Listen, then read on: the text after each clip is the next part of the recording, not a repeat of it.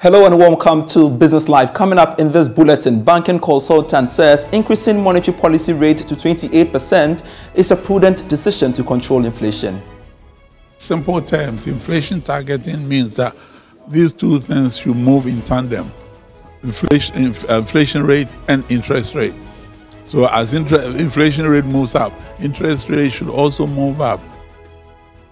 Managers of China Mall, Palace Mall and other shopping centers at Spintex arrested for issuing fake VAT invoice. What will happen is that definitely have been arrested, so somebody will have to build them. But beyond that, we are looking forward to prosecution because it looks like they are not taking us serious. And total mobile money transactions hit a record 1.07 trillion cedis in 2022 despite the existence of the electronic transaction levy. We have details of these and many others lined up for you. Please stay.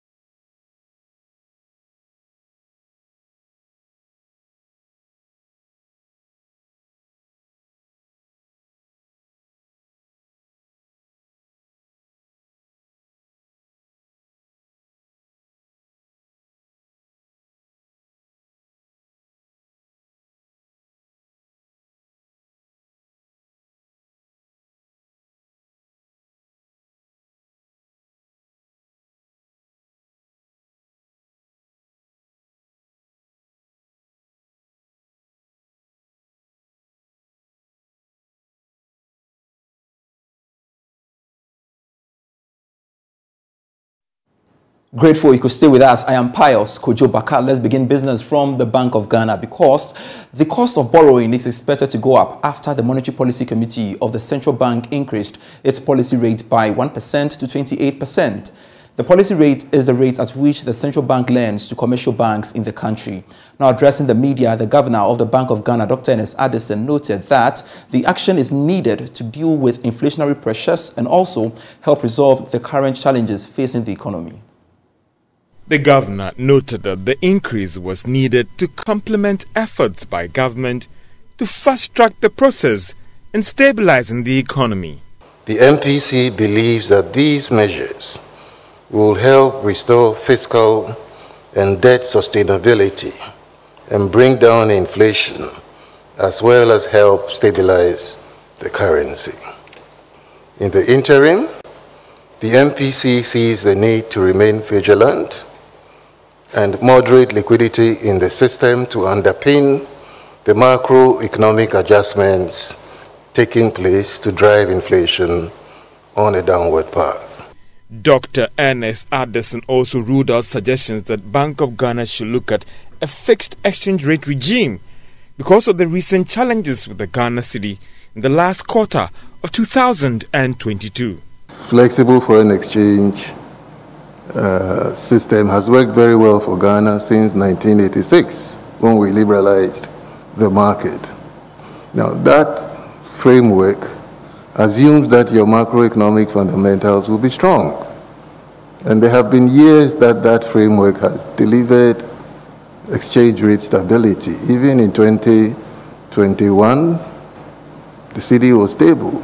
The year before that, 2019, 2018, you were able to keep the cedi relatively stable, maximum 5%, 6% depreciation for the whole year. So yes, if something goes wrong with the underlying economy and you see a, a much higher depreciation, you don't go back and say, oh, the framework is the problem. The problem is not the framework.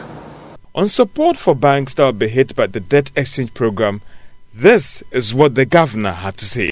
On the basis of, of that exercise, uh, the bank came out with regulatory reliefs, which we thought would help them deal with the impact on liquidity and capital. We agreed to reduce the cash reserve ratio from 14% to 12% on domestic currency deposits, reduce the cash reserve ratio from 13 to 12% on foreign currency deposits. These measures gives liquidity back to the banks. It addresses the issue of the impact of liquidity. We also dealt with the issue of capital by reducing the capital conservation buffer by 3%. So the capital adequacy ratio was reduced from 13 to, to 10%. And even some of the technicalities surrounding the debt exchange uh, in terms of derecognition losses and all of that, we agreed to have them restore its impact on capital over a four-year period. So there are a lot of things that the Bank of Ghana has uh, agreed to do uh, to help the banks deal with the impact of the domestic debt exchange on capital and, and liquidity. Dr. Addison has also been giving details on Ghana getting the IMF financial support by the end of the first quarter of this year. Gone very far. You're aware that we've gone very far with the staff level agreement. Uh, uh, we hopefully should be seeing the end of the domestic debt exchange. Uh, we are also making progress on the external side, on the external debt restructuring. The necessary committees have all been formed. And we are confident that by the end of the first quarter, we should be able to get a disbursement from the IMF to help augment the foreign exchange resources of the central bank. So I don't foresee a situation where, you know, we would be in that kind of trouble. The governor of the Bank of Ghana, Dr. Ernest Addison, was optimistic that the debt exchange program will rather help stabilize the economy and deal with the current pressures on the local currency. Now, reacting to the increase in the policy rate, banking consultant Nana Otuo Acheampong says the move is in the right direction. My concerns um, situate within the model that they are using. And that model is inflation targeting. And in simple terms, inflation targeting means that these two things should move in tandem inflation, inflation rate and interest rate. So as inflation rate moves up, interest rate should also move up to calm down the situation and bring inflation down. Now, we've been practicing this since the 2000s, you know, and it has helped because we have had instances where inflation has come as low as single digit, interest rate has come as low as almost single digit, and so I don't think this is the time to ditch that policy and go for an alternative policy. We, we've got no option but to stick to it until, you know, um, the, the end, which will be until we are able to achieve the purpose for which we opted for inflation targeting. There was one question that I asked the, the, the governor about the, the local currencies performance, and he again sought to justify this whole inflation targeting framework being result oriented. And the blips we saw in December where the currency went down, appreciated sharply or gained sharply, and then it went down. Some are saying that maybe the time has come for us to look at more of a fixed rate and defend it as well. The governor seemed not to support those who are pushing that argument. What do you make of this? Um, I think I'll side with him because the fixed rate uh, went through the roof as far back as 1953 after the end of the Second World War and then they, they got together in Bretton Woods and decided that, okay, you can have uh, a rate, one of the two, either fixed or floating or uh, a semi uh, type of thing. We opted for the floating, uh, it's not fixed. So I think it's too late in the day for us now to go back and say, no, we want to go for fixed rate because each of them has, has their benefits and limitations. And the uh, way to control inflation is when you are in fixed rate, it becomes uh, difficult to control inflation. So I think in the uh, floating, semi-floating stage, it's good for us to continue going on. I wouldn't panic and go for the fixed rate, which you'll find in very, very limited regimes in the world. Tightening policy rate signals a very interesting impact on the cost of credit. And for many, this is not what we should be expecting this time as well. Don't you think that maybe at worst we should have kept the rate unchanged because of the impact of a hike on the cost of credit? No, the model the model works on the basis that as long as inflation is rising, interest rate has to keep rising to check inflation to come down. So they couldn't they didn't have the option and saying that because cost of credit is now around 40%, we should keep it down. Rather, they moderated it because I think the expectation would have been by 2 or 3%. So the 1% is a moderate, moderately low figure, the minimum that they could go to to uh, fit into the inflation target.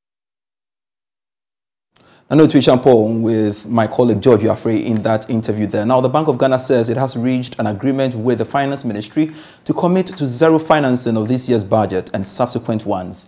The proposed macroeconomic policy is a precondition for the country securing a fund program from the IMF. Now, speaking at the launch of the 60th anniversary celebration by the Institute of Chartered Accountants Ghana, head of banking supervision at the Bank of Ghana's Osei said the move is also necessary to contain the country's rising debt as well as control inflation. With inflation currently at 54.1%, tight monetary policies are expected to contain the persistent price shocks in the economy and ease inflationary pressures. Monetary financing of the government deficits, which was pursued to prevent domestic defaults arising from systemic auction, auction failures during 2022 will end under the program. To achieve this, the Bank of Ghana and the Ministry of Finance will commit to zero financing of the budget in 2023 and beyond. The implementation of these prudent macroeconomic policies is expected to trigger a disinflation path and downward trends in the policy rate, as well as restore the country's reserve buffers to at least three months of import cover by end 2025. When inflation decelerates to single digits, we expect real interest rates to, to be between 3 to 4% and nominal interest rates to range between 11 to 12% over the entire course of the program. You're still watching Business Live with me, Pious Kojo Backah. Now, managers of some shopping centers on the Spintex Road in the Greater Accra region have been grabbed by the officers of the Ghana Revenue Authority for issuing fake value-added tax invoices. The shops include China Mall, Sendam Shopping Center, Palace Mall, and Second Cup Coffee. The exercise was undertaken by the joint team from the GRA and the Criminal Investigations Department of the Ghana Police Service. Now, the exercise is part of moves by the GRA to boost revenue mobilization through enforcing the tax laws. Commissioner for Domestic Revenue at the GRA, Edward Gyamerah, has been addressing journalists. At the China Mall, they were not issuing the EVAT invoice. Then Palace Mall, they are also issuing uh, uh, receipts with duplicate signature of the Commissioner General. And then we have Snyder Shopping Center. They are also issuing non-EVAT invoice. And then we have Fresh First Limited, that's second cap. They are also not issuing EVAT invoice. All these places are centered at uh.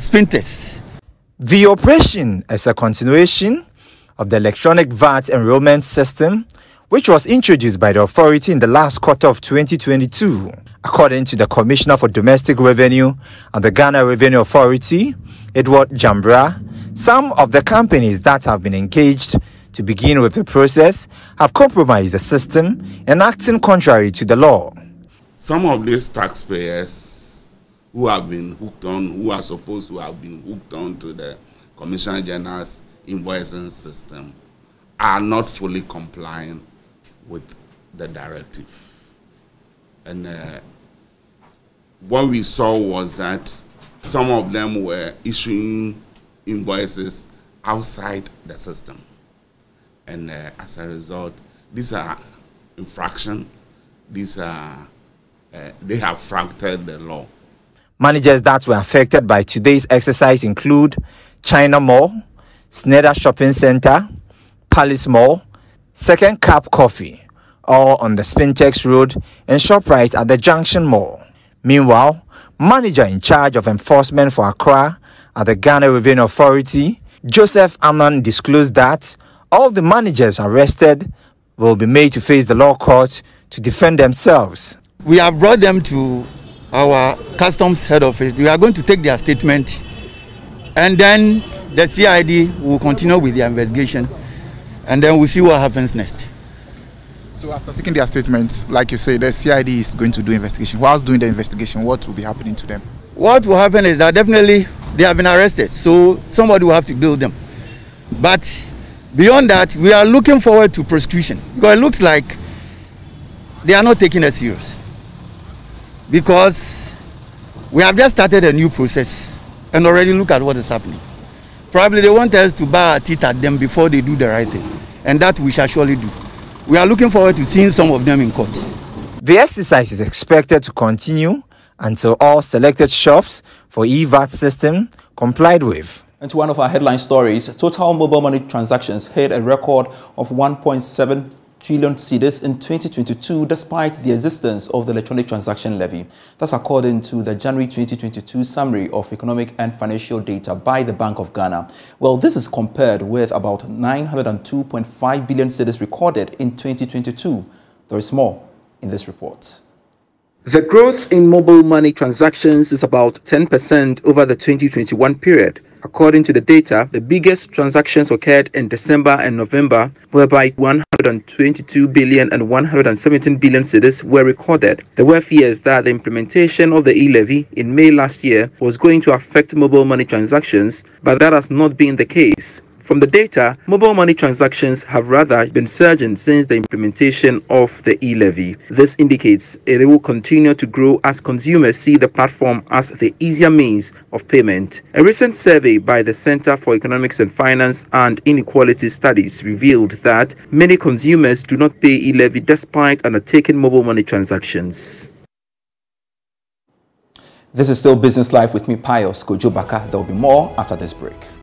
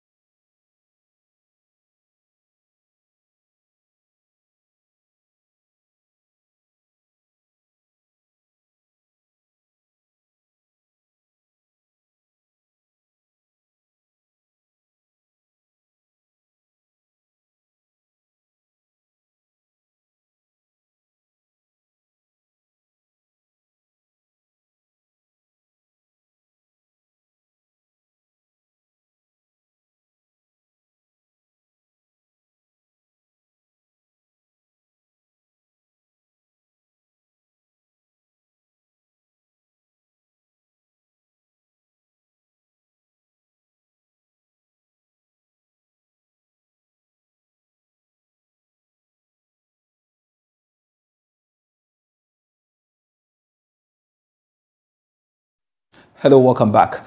In its quest to present clients and customers with a comfortable and secured driving experience, leading automobile dealer Suzuki has launched a new brand called Suzuki Swift onto the Ghanaian market. The new brand Suzuki Swift, which was locally assembled in Ghana, is a safe and reliable vehicle with an excellent exterior design that comes at an excellent price. Here is more. Authorized distributors of Suzuki Vitara Baleno, and Ciaz, Suzuki's product line covers the full spectrum of automobile needs including saloon cars, SUVs, vans, trucks, as well as motorcycles. Suzuki seeks to provide customers an array of options. Hence, it has commissioned a new locally assembled Suzuki Swift in Ghana. Here's Managing Officer of Suzuki Motor Corporation, Koichi Suzuki. This assembly project marks an important milestone for both co companies since it is the first Suzuki assembly effort with Toyota Tsusho Corporation. We have recorded excellent sales results in Africa and Ghana with the support of CFAO, an affiliated company of Toyota Tsusho Corporation. Thankfully, in 2022 calendar year, Suzuki sales in Africa has increased by 60% to 116,000 units. And also in Ghana, Suzuki sales has increased by 63% over 1,000 units. Therefore, we have positioned this alliance as a very important part of our company's strategy in Africa. We will continue to strengthen it to enhance Suzuki's presence in Africa, especially here in Ghana. Chief Operating Officer of Toyota Corporation, Africa Division, Shinichiro Otsuka, also pledged the company's commitment to supporting the development of automotive industry in Ghana. We are committed to contributing to the economy, industry, and social of the Republic of Ghana through automotive production together with Suzuki Motor Corporation. Taking this opportunity, I would like to ask the government of Ghana to further support our vehicle assembly business through the steady implementation of the Ghana Automotive Development Policy. Additionally, we are well aware of the positive st stride in the country's economy, and we would be much encouraged to see government support for the development of the automobile market and sales which would enable us to more greatly contribute to Ghana.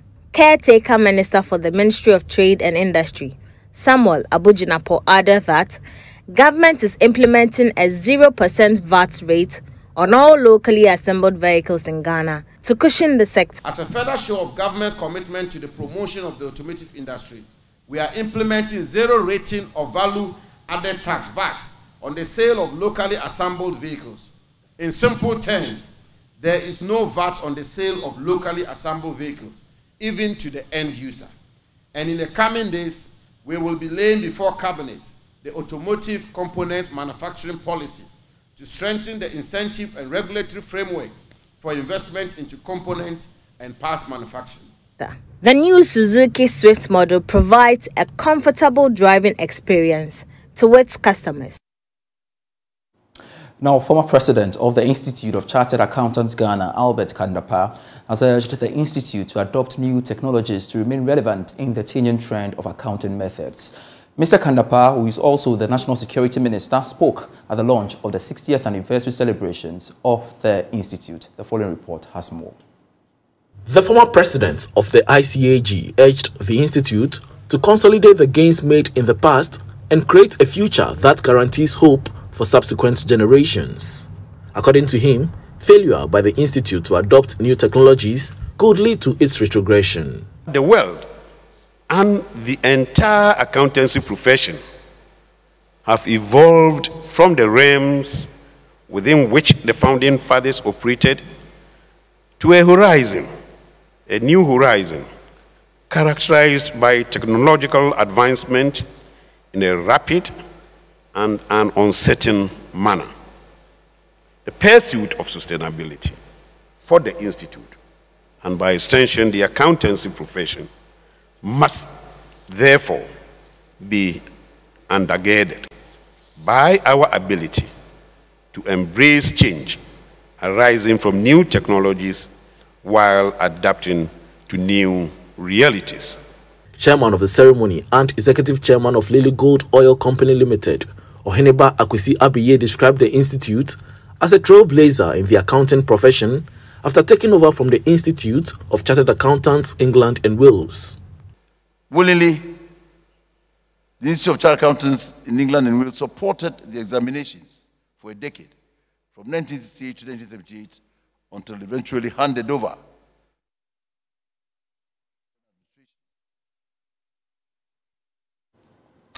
And that's it for Business Live for tonight. I am Pious Kojo Backah. For more news, you can get business stories on myjoyonline.com forward slash business. Always a pleasure serving you. Do enjoy the rest of our programs.